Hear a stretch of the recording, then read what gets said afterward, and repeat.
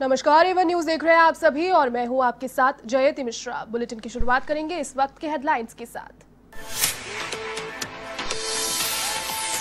दुनिया भर में कोरोना का कोहराम जारी। कोरोना संक्रमितों की संख्या उनतीस लाख इकहत्तर हज़ार के पार तो दो लाख साठ हज़ार से ज़्यादा कोरोना मरीजों ने गंवाई जान। आठ लाख पैंसठ हज़ार से अधिक मरीज़ हुए स्वस्थ।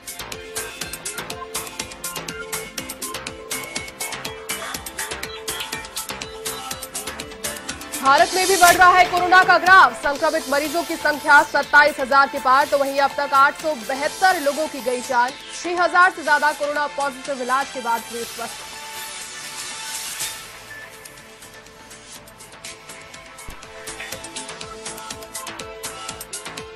पीएम मोदी ने सभी राज्यों के मुख्यमंत्रियों के साथ में की बैठक। वीडियो कॉन्फ्रेंसिंग के ज़रिए कोरोना संकट और लॉकडाउन को बढ़ाने को लेकर की चर्चा। गृह मंत्री अमित शाह भी साथ रहे मौजूद।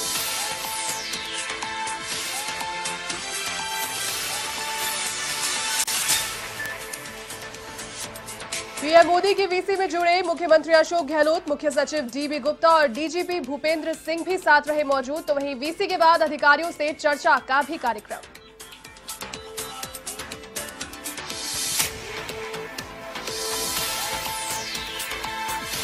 राजस्थान में भी बढ़ रही कोरोना पॉजिटिव मरीजों की संख्या प्रदेश में कोरोना संक्रमितों की संख्या हुई 2,221 तो अब तक कोरोना से हुई चौवालीस लोगों की प्रदेश में मौत।